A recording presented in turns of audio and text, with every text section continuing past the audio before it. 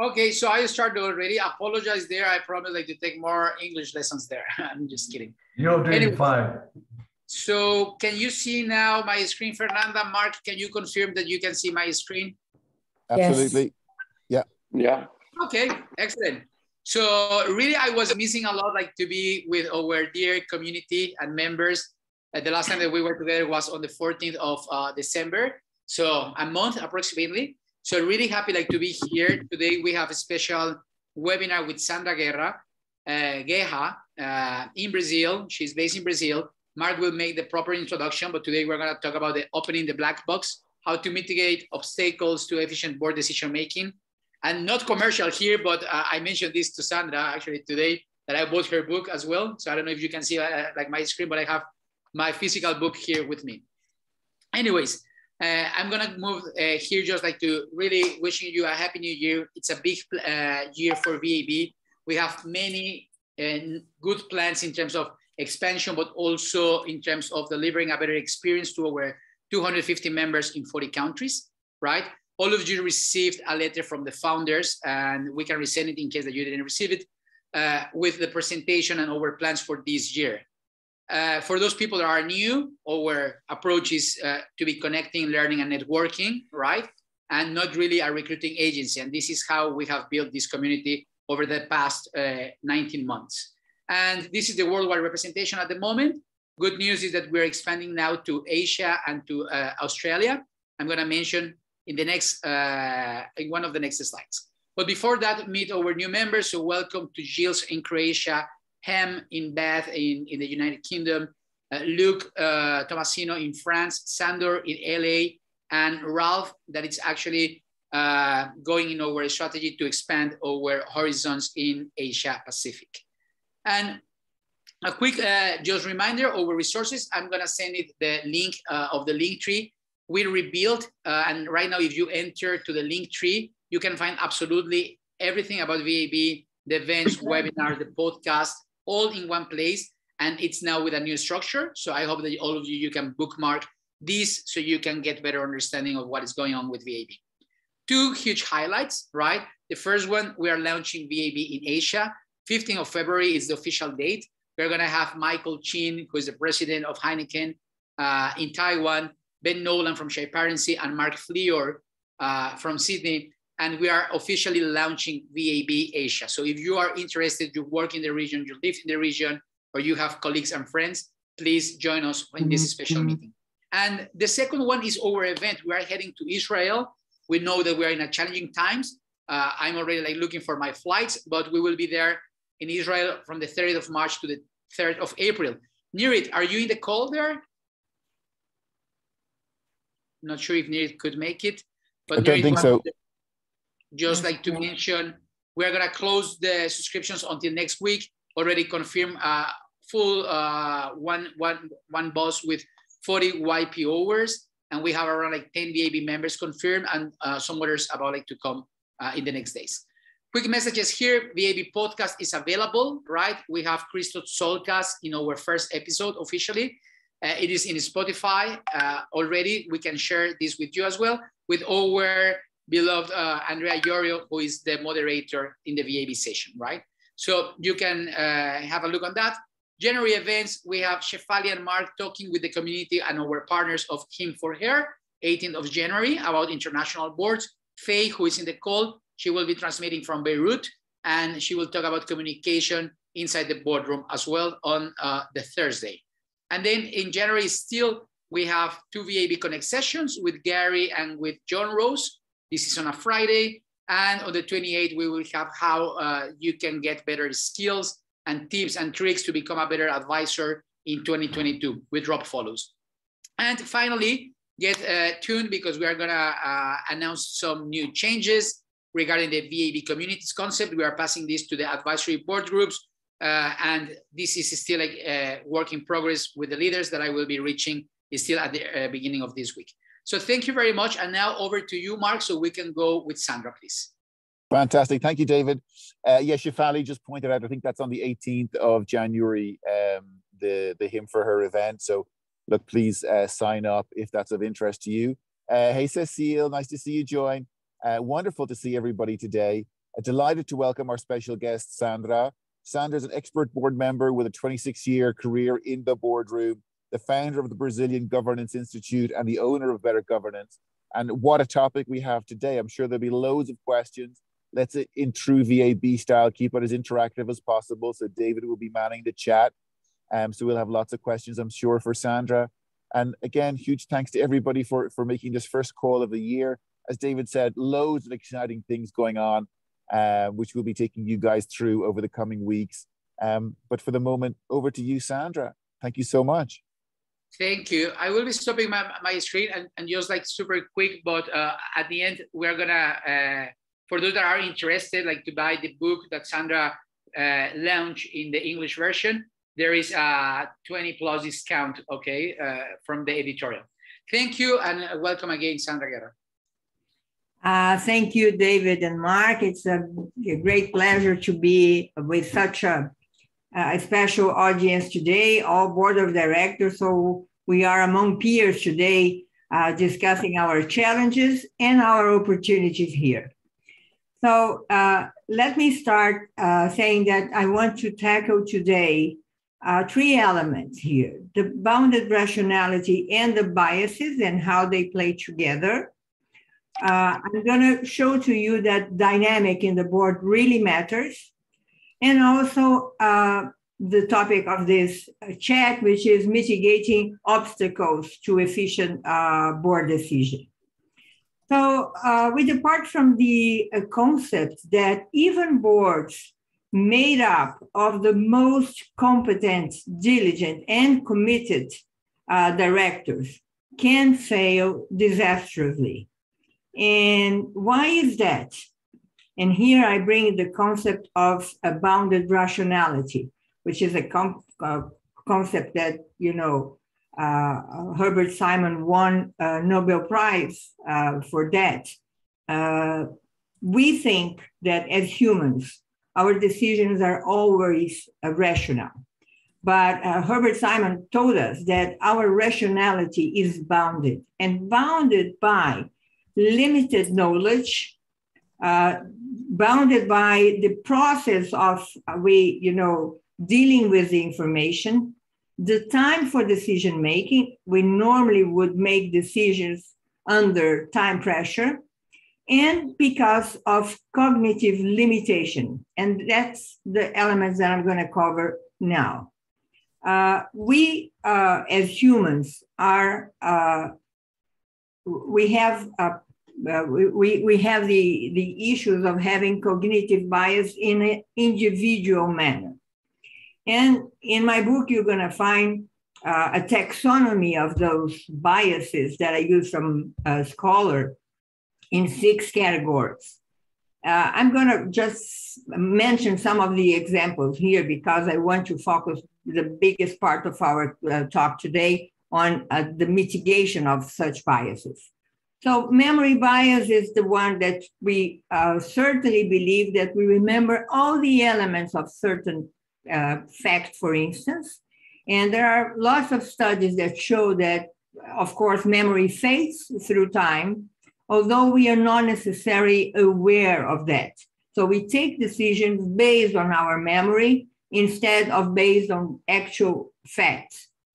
Statistical bias, even statisticians are, uh, you know, vulnerable to this sort of uh, of these biases because eventually may uh, consider, for instance, if I ask you, uh, if I say to you, uh, John is a very shy person, uh, and and and and very you know very dedicated professional. Uh, does he work in a library or does he work in a bank?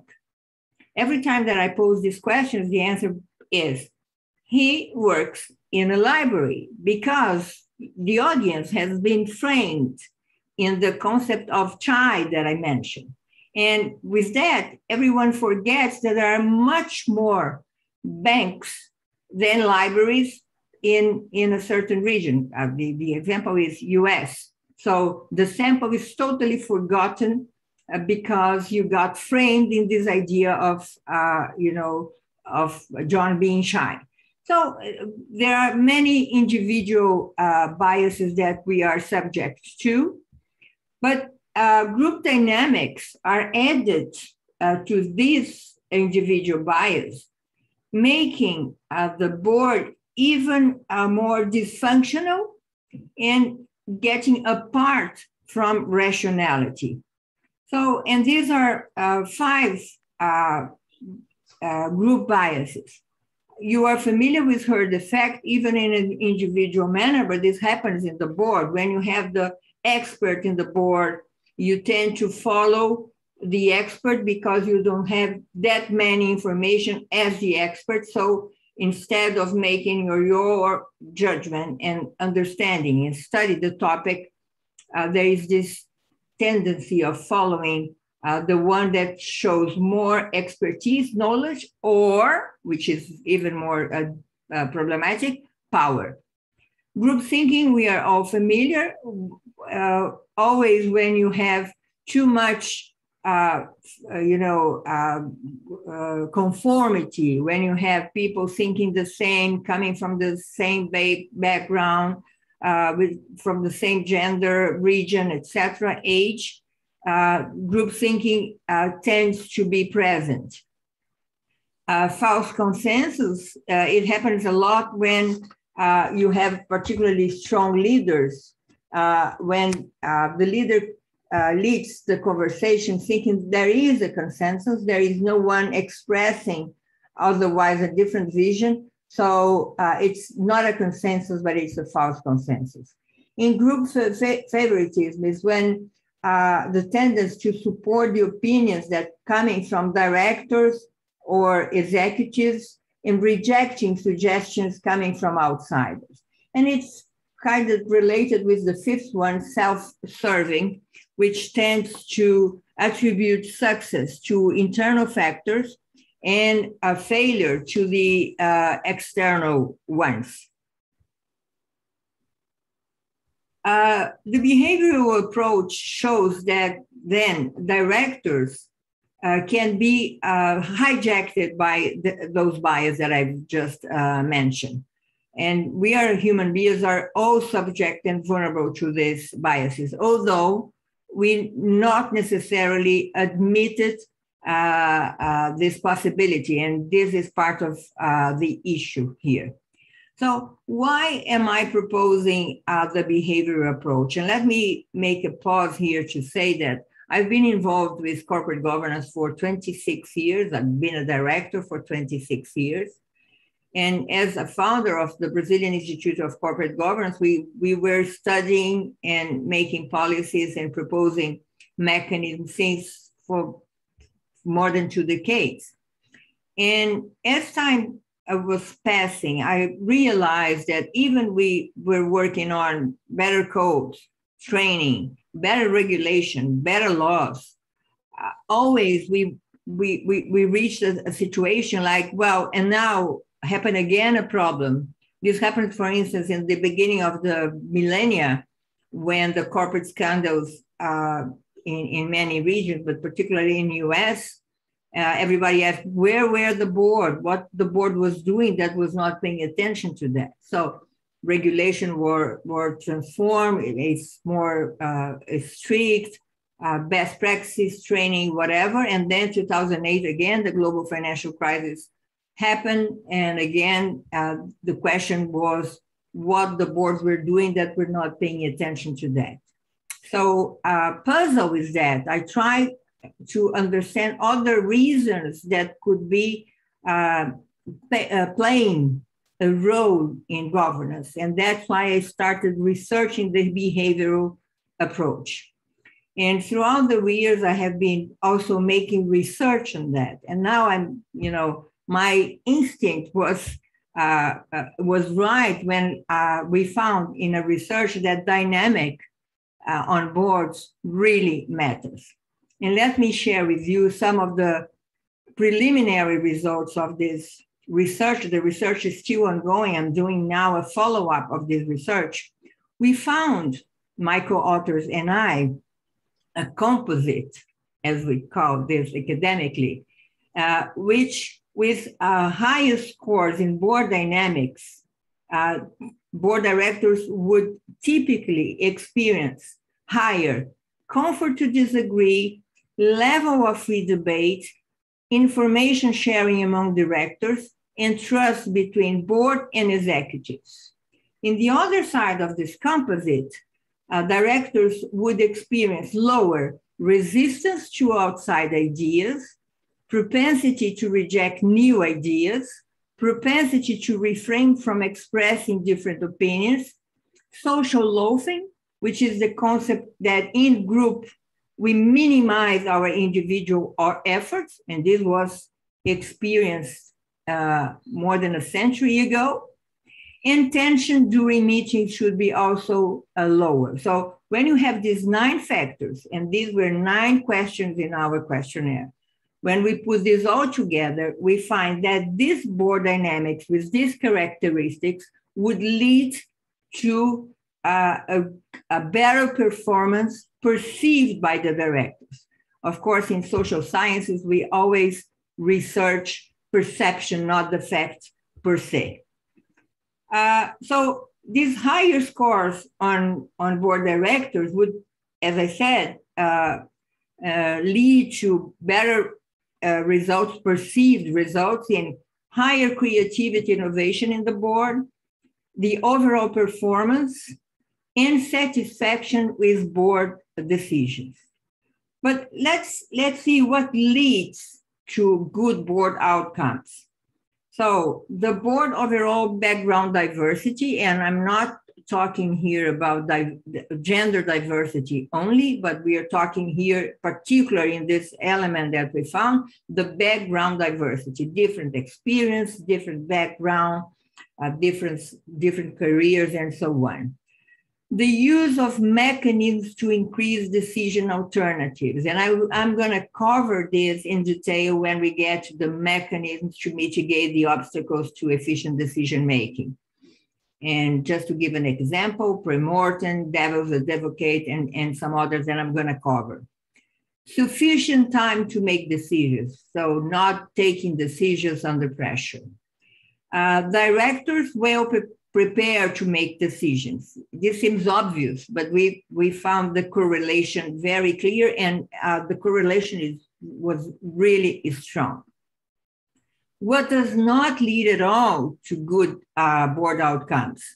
The board is stuck in habitual routines. And this expression is used in academics to say that the board uses the same agenda all the time. Start by looking the results of the last period and then the CFO make a presentation on the financial statement and, and, and so on. So instead of reaching the topic, tackling the topics that are more important or more crucial or the, the needs a different approach instead of the routine that the board has. Uh, so this is one, one of the elements that, that prevent a good decision making um, environment. Meeting takes place under time pressure, and, and this is uh, obvious. And fatigue on meetings contributes to hasty decisions. Guys, I'm certain that all of you have been in boards, and in a certain time, mostly near 5 p.m., you, you feel that everyone starts to packing, arranging, because they have a flight to take. Well, in the times that we had uh, in-person meetings. Uh, of course, this you know pressure to take the plane to leave the room it's in the air. So you were not you were in another mood taking decision and this is what this is about. So i said that this is the uh, research that we are doing now a follow one it was responded by 340 directors around the world. I'm going to ask uh, David to share the link of the research in uh, the chat. Uh, it's already there. Good. Thank you so much, David. And I would invite you to respond this follow-up questionnaire. And when you put your email there, you're going to receive updates as soon as we have another data treatment uh, to, you know, um, to increase the number of respondents, and also because in this follow-up questionnaire, we are also tackling uh, the, you know, the pandemic to see if there is any difference from the previous period that uh, the, the research was done before uh, the pandemic. So the main part of our conversation today, how to mitigate the obstacles to efficient uh, board decision making. So uh, the proposition of the book is precisely to offer a guide to navigate through these uh, behavioral issues and transform the board interactions to become more productive and more uh, effective. So I'm going to start with some of the elements. Uh, I call the red alert uh, button. Every time, and I'm certain that you guys have experienced uh, this many times, every time that the executives come to the board and say, you know, I'm sorry we didn't send the material um, with, you know, we sent the material only yesterday because this is a very pressure issue. We are in a negotiation and we have until tomorrow to participate or not in that bid. I'm certain that all you guys have faced situations similar to that.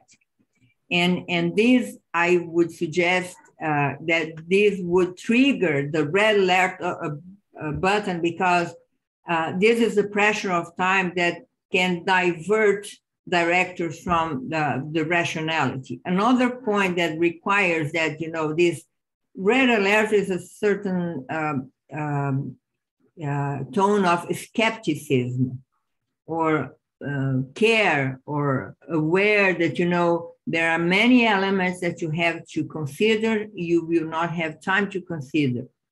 And, and it's not only about pressure of time. I would say that complexity also should trigger the red alert. So uh, statements like, no, we have all under control. It's very simple. And then you really don't believe it's as simple as it's being presented. Uh, the other point is what I call the signatory power. I mean, uh, management needs board approval to proceed with certain transactions, for instance. Uh, and at some point, the only way you can, you know, uh, get in in in a in a depth analysis of the situation is not providing your signature in those uh, in that topic that is being under under analysis for a time, of course, for for a window of time. So uh, and with that, try to limit this rushed approach to, uh, to decision making. Uh, when I talked about innovation, uh, we are talking here about being open uh, to new ideas, to new thinking. So uh, the concept of being the board and the directors and all the environment being able to discuss okay we are we are being presented of a situation. But what if certain elements of this proposition do not happen? What if a new uh, a newcomer uh, comes to be a competitor of us? What if?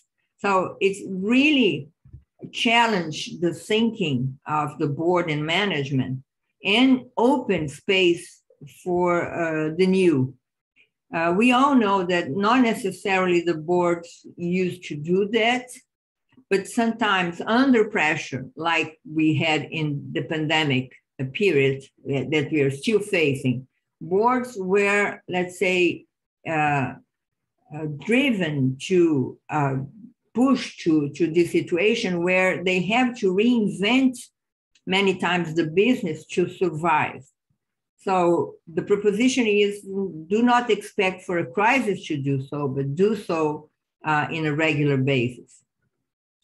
Uh, choice architecture is an element uh, very important that has been studied for some time, particularly in the you know public setting. Uh, let me give an example of a choice architecture or the concept of nudge in a school cafeteria you would put, you know, vegetables and the good food in the eye and the very near to students to prefer to choose this uh, food, this uh, the things instead of, you know, uh, the food that is not as healthy as broccoli, carrot, or whatever. So this is considered a nudge. I mean, you you're not taking uh, out of your choice. You're gonna do at the end. You have all liberty to do the choice, but you have you receive a small nudge to go in a direction that it's considered to be healthy to you. This concept of choice architecture can be transported to the boards.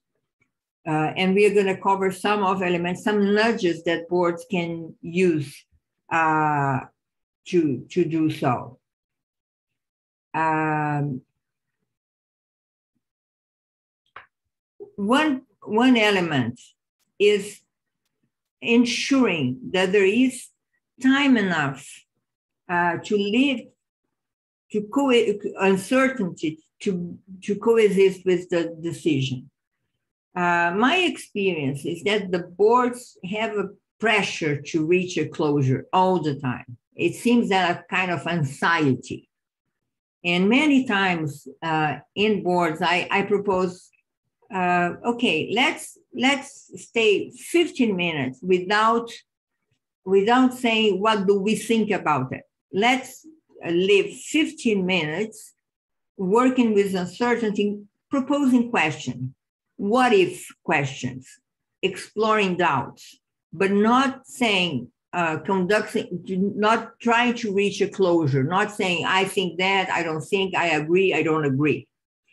In my experiences, all the time, boards could be very uncomfortable with that. It seems that, you know, uh, of course, the final goal is to reach a decision, but the, my proposition here is let's live with uncertainty. Let's uh, give room to uncertainty for a period where you can explore further all the elements considered, and, and then you can uh, reach uh, a decision uh, in a more robust manner. And let me give you some examples of how to do that, some mechanisms that the board could use to do that. First, to increase the number of alternatives and also be sure that the management use also these ideas.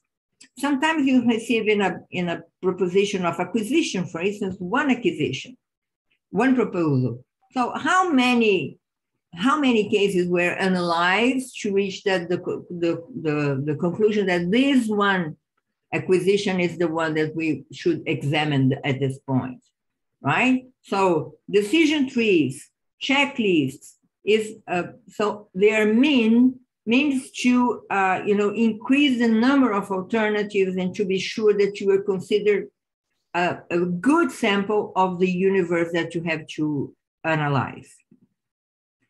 Another uh, mechanism, and, and this one is used to uh, maintain a certain skepticism from the board, is the use of devil advocate that, as you know, was created in the Vatican. Uh, so um, normally, uh, it, it's very important to choose the correct person to play this devil advocate. Sometimes can, can be an outsider, because the, the role should be credible, right? So an outsider would be a, a good person to do that. So to really challenge the proposition and challenge the current thinking and to bring other perspectives and, and so on. Another one is the pre-mortem. And I like pretty much this exercise when it's done individually. So the chair it's presented all the, uh, you know, the proposal for a transaction. And the board, the chair of the board says, okay, let's take 10 minutes individually. Every one of us, we take a piece of paper and we write down what could go wrong with this transaction, right? What could go wrong? And individually, uh, everyone um, write down what would be, uh, you know, the issues, the problems that can occur and why. Uh, and then you have the papers. Eventually, you don't have, you know, the uh, signature of each one, so everyone is very free to extern, uh, to express uh, his or her ideas. So this is also an exercise of skepticism and also you bring perspectives that would be silent otherwise. It will not be expressed because, you know, imagine I'm a, I'm a new person in the board and I'm just arriving. I'm three, three months uh, in this board. You guys know everything about the company, about the business. I'm outside of this industry, by the way. But I have a strong uh, perception on certain elements that eventually I would not express because I'm very new. This will not be my case, by the way. but you know, it, it, it can happen. So this sort of exercise helps to bring all the visions uh, inside. Uh, now, uh, psychology safety is paramount to be sure that you have a real uh, free debate in the board so that the directors uh, take risks, share and challenge ideas. And of course, uh, the chair has a very important role in ensuring that this uh, happens. And I, I've been, I mean, as I do board evaluation, as in my other my other life as a consultant, I do board evaluations all the time. Uh, so I see the difference when there is a board that can really discuss in front of the owners of the company when there are controlling owners, challenging their ideas and so on, how this is, you know, uh, much more constructive and conducive to, to good decision making. Uh, so with that, and because I want to be sure that I give enough time to your questions that I see that is already coming in the chat, uh, here, I leave with you an invitation to dive in this efficient board decision making. I gave some examples, but uh, the, the whole story is uh, presented in, in my book. The, the book has a very practical approach. Uh, of course, I share my experience of 26 years experience on board. I add to that the academic and market research, some as I just showed you uh, uh, I presented three different surveys in the book. And I work with cases, with real life, board real life. I, I made 31 interviews around the world for, for three, three, four years. So I, I open each chapter with a caselet, as I call. The caselet was, you know, uh, transformed to not be recognizable. Uh, but it's a story like a like a novel. You you're gonna see the characters, what is happening, and then I stop the case. I cover the concept, and then at the end of the chapter, mostly, I would finish the case with the conclusion uh, of this.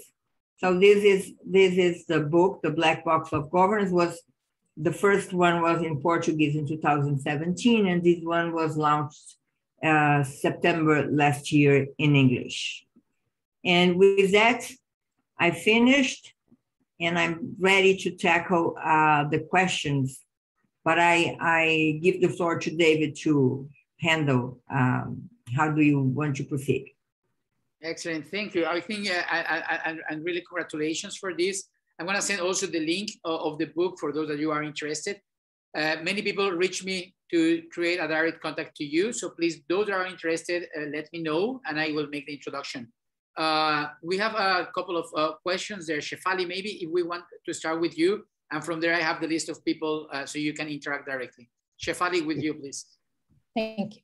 Thank you, Sandra. That was really interesting and insightful. Uh, I have a research interest in decision making per se, so I look at things from that lens all the time. My question is essentially about the slide you finished on. You said efficient board decision making. One of the smaller areas of research, as you will know, in the functioning of boards, says that the more diversity there is, the less efficient board decision making is, but it is potentially more effective. So I'm keen to find out if you uh, could comment on the difference between efficient and effective board decision making, particularly in case of, uh, you know, with the background of diversity of opinions and experiences and so on across uh, along the uh, board table. But in any other context that you might have drawn that distinction because our job is to be effective. And um, if you only have to be efficient we will probably compromise and optimize on the decisions we have to make. Thank you. Thank you for the questions and very good uh, very good question. Uh, you know uh, we are talking here about when you have more diverse ideas of course you need more time to discuss the ideas and uh, so it's like the conflict.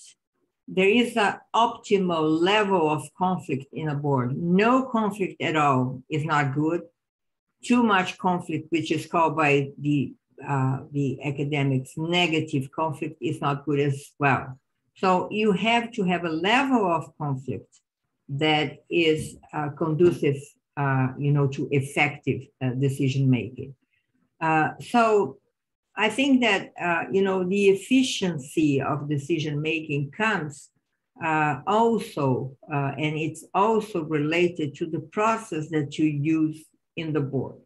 So you can have the level of diversity, you can have different perspectives. You should have different perspectives to have a very effective decision making, but you can be efficient in how to do so. Let me give you an example. Uh, most, many boards uh, use a lot of time to executives presenting the topic to the board. So long PowerPoint presentations.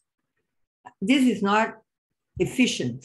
So uh, the proposition is that all the material, the, the pre-reading material should satisfy the board in regards to the information.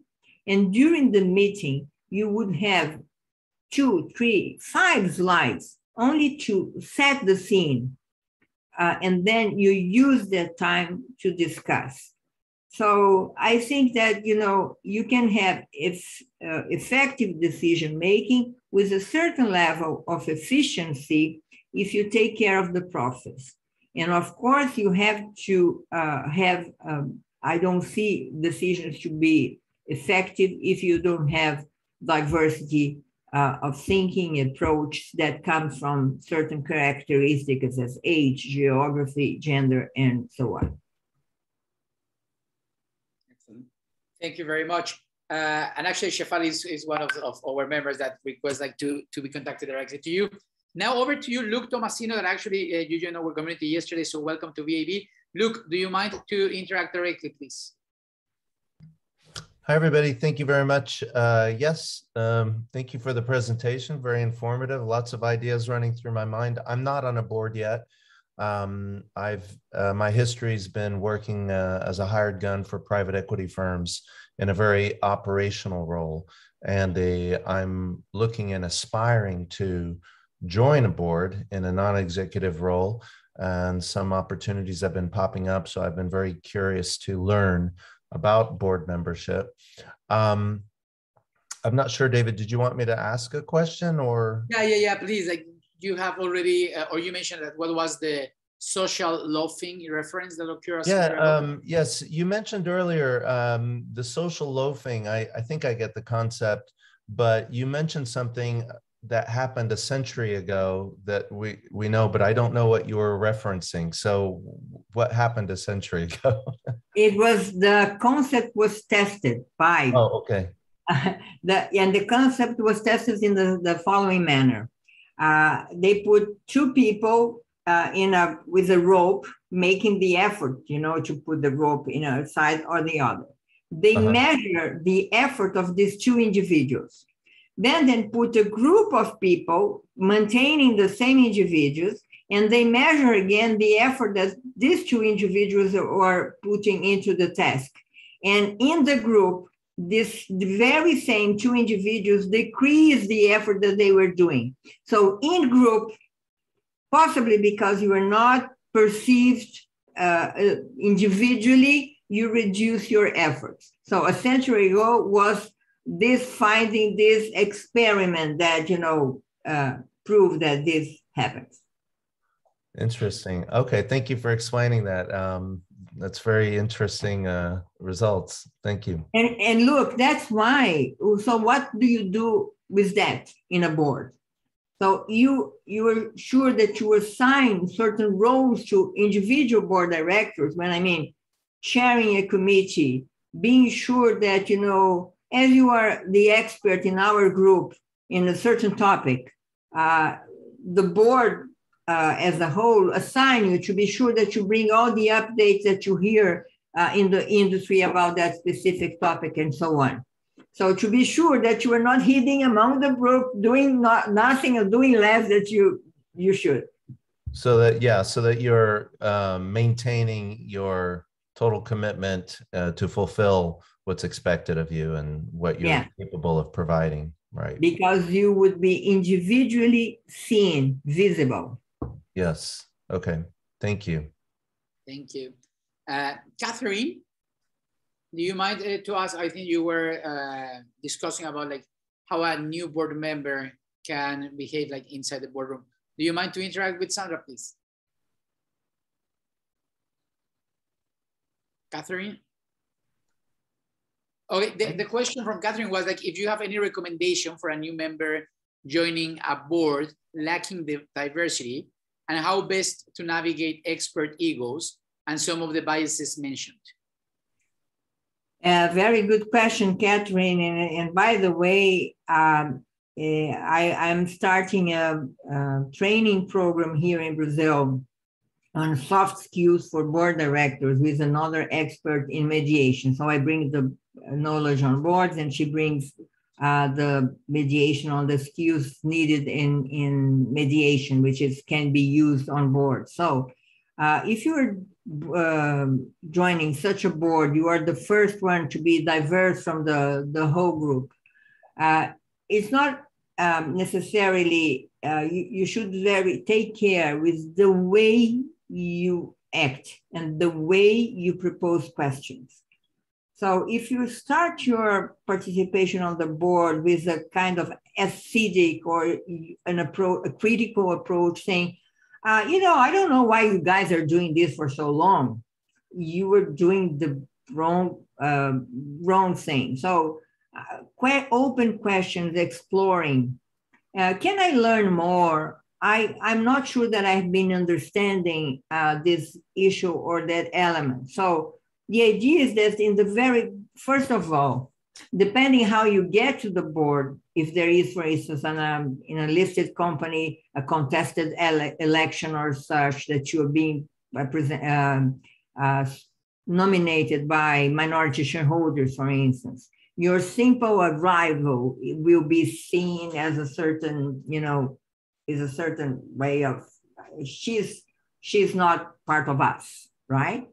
So you already this frame, this halo effect, as a um, is already there. So you should act in a way that counteracts this uh, previous perception or this preconcept, prejudice. So, and question, open questions, exploring. So not discussing and not um, not not putting the issue me and you, but you know this element that you were discussing, I would like to understand what, what, what I'm not seeing that you see in the benefits of this uh, proposition. And so I think this is the way, not only to newcomers to the board, but to all board members, but it's crucial to newcomers to be, you know, received. And through time, uh, you will uh, show and express how you contribute to the board. Until they perceive your possible contribution to the board, they possibly will not hear you as you should. This happens to me many times. Uh, I'm for many, many situ- in many, many situations. I was the only one different from uh, the group, and I was for many times the only woman in the board. So, and it takes time for your competences and your knowledge to be a knowledge. Um, so it requires this, you know, the use of soft skills to be sure that you start interacting in a positive manner with the board and the management. Excellent. Thank you very much. Very insightful. Konstantinos, uh, do you mind? I don't mind at all. Hello, everyone. Uh, first of all, congratulations. I thoroughly enjoyed the presentation. Uh, my question is a little bit off from what we discussed, but I think it ties to, to two things. You mentioned uh, the importance of psychological safety within the environment of the board, and also uh, the fact that better boards uh, embrace, you know, uh, disagreement or at least uh, an open discussion, debate, and and and of course there is a high level of trust. But in my experience, big part of that is the role of the chairman and you know the messages he conveys. So in a situation where the chairman of the board is more consensus oriented and less open to that you know uh, environment of of uh, of debate and and you know mulling over the topics and looking at different points of view and rather breezing through and uh, towards a decision what options or what approaches you would recommend someone sitting on a board has. And I know walking away is always an option. So let's put that aside and, and, and let's explore others. You know, Konstantinos, there is a case of uh, precisely responding to your question on a book that was given to me by a French director. And, and he was not the chair, he was an independent director, and he started to approach the chair out of the meetings uh, in a very constructive manner uh, trying to explore why uh, things should be done in a different manner uh, and showing not menacing, uh, because if this would be done during the meetings, a person like that, and he was a kind of di- dictator, let's say, uh, mm-hmm. the person would be menaced and would uh, the opposite, the reaction would be opposite. He would be even worse in mm-hmm. his behavior. So uh, one important uh, point is to have this uh, outside um, of the meeting conversations with the chair and maybe with some other directors uh, mm-hmm. that, you know, if you perceive that there is an, a director that, you know, is normally heard by this chair or have some influence on the chair also, uh, bring a conversation with uh, this person. Another thing would be done is to invite some outsider to bring some concepts of you know soft skills on boards and why uh, why boards that do this way reach you know uh, better decisions or better protected from you know uh, not seeing what is happening and so on.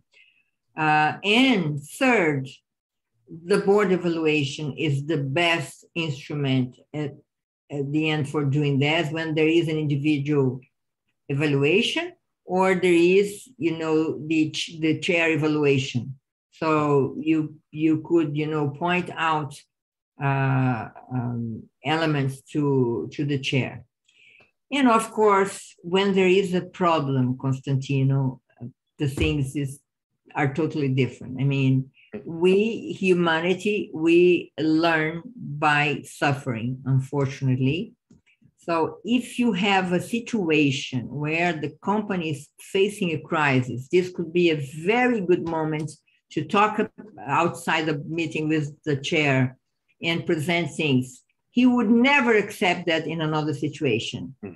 Mm-hmm. but in that situation he will and i'm i'm telling you i had this experience myself in a very you know deep crisis situation where many of the topics that I would include in the agenda that were impossible before became possible with, in a in a very very tough crisis. Thank you. Thank you very much. Excellent tips and also trying like to look for more recommendations. Nuno, would you like to ask to Sandra, please? Hi, Sandra. Uh, great to, to see your presentation. Very insightful. Uh, my question is uh, relative to the allow time for uncertainty and avoid that uh, closure pressure, because there is there is a little bit of a balance that you need between yes, allowing time to uh, to get some options, but at the same time avoiding creating a never-ending uh, search for the perfect solution because we're in very fast times and sometimes the company itself needs to make very quick decisions uh, in order to change so what's your recommendation to to create that balance uh, to have time, but also uh, have the ability to go and try maybe something new that we don't know enough. What, what would be your recommendation for that? Well, first of all, Nuno, thanks for your question. I think that uh, the decision process is part of the answer. So I, I, I like very much the approach of a pipeline. Consider the decision in a timeline, considering a pipeline of the decision. So if you're proposing as management to make an acquisition, for instance, uh, you should not expect and you should create a culture in your board. that This is not a one board meeting topic, right? Because it's a huge, you know, location of capital is one of the elements that we should take care and it's where we can lose a lot of money.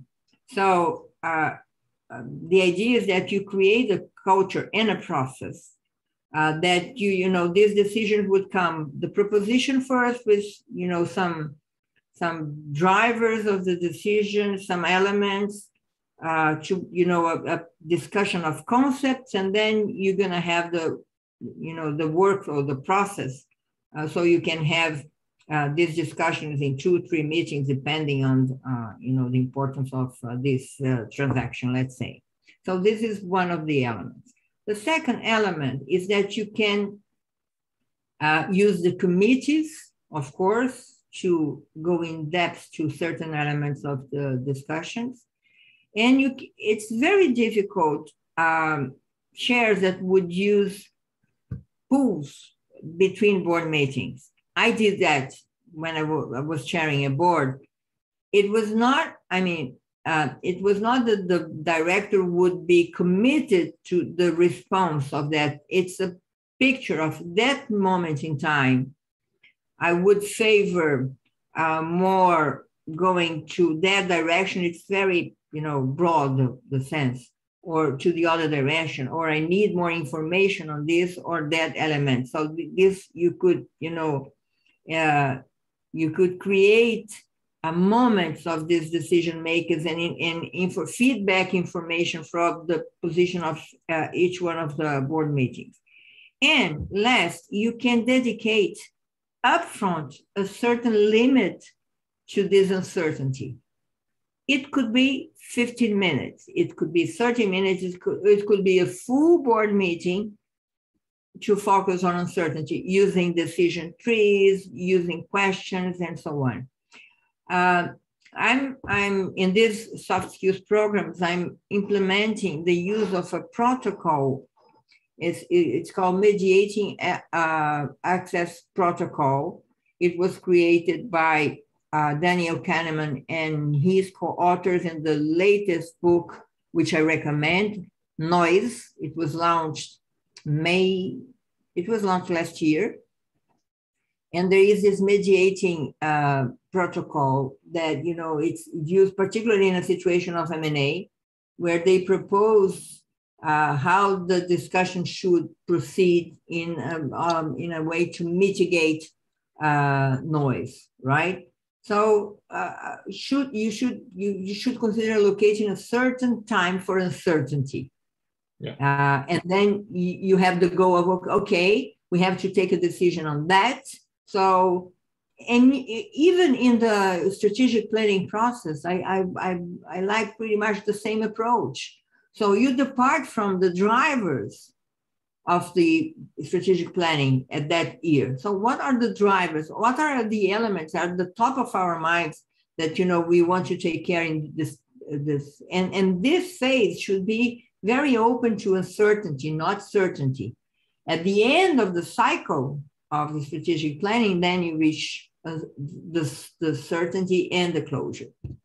Yeah, and, and thank you for that answer because I think that time boxing exercise is, is very important in order to go and to make a decision because I had a, an experience in which we went through five different board meetings with 36 different approaches. And at the end uh, we um, the chairman decided to go and say i want 100% um, uh, certainty, and it's like, yeah, we can either go spend four months more in order to get there, uh, and or we go and we mitigate the risk. So it's that time boxing um, that I was thinking. So so thank you very much.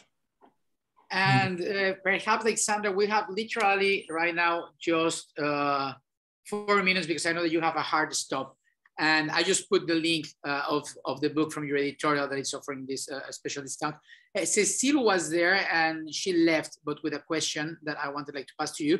And also the three or four questions that we have left, uh, I will send it to you and we are gonna share it in the article that we are gonna pass to all our members, right? So the question from Cecile, uh, it was about like, how do you see the role of the committees versus the board as a whole?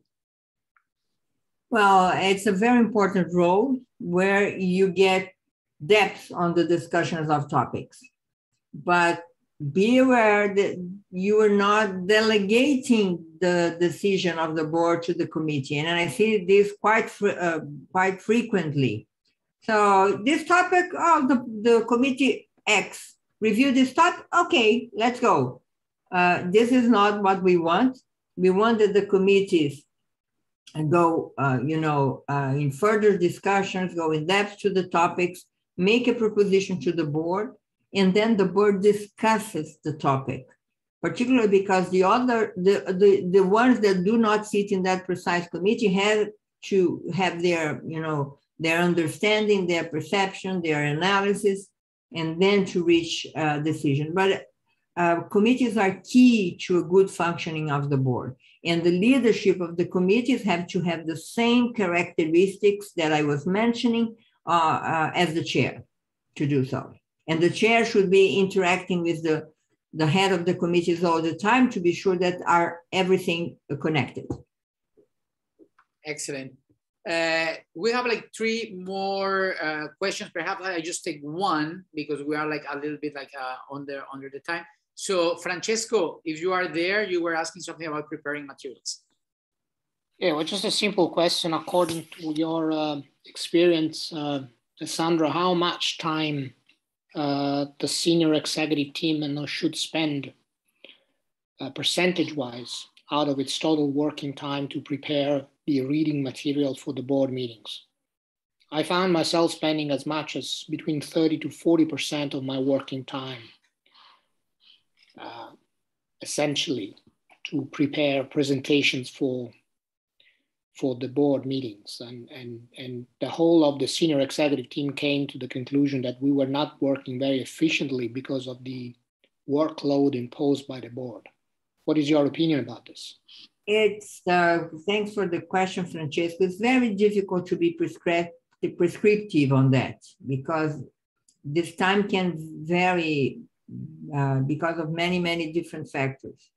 Uh, what I think that, you know, I, I like to, um, my approach to the pre-reading material, that instead of being this, this long and very careful prepared PowerPoints, you use a kind of a form, uh, you know, where you have a certain elements that should be always present and this should be agreed uh, board and management together how could be this uh, proposition of uh, decision decision proposition form.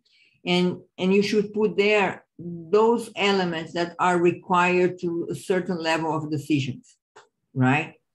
Uh, and you know the powerpoint thing that takes a lot of time from management should be you know as i said two three five slides during the meeting only to set the scene.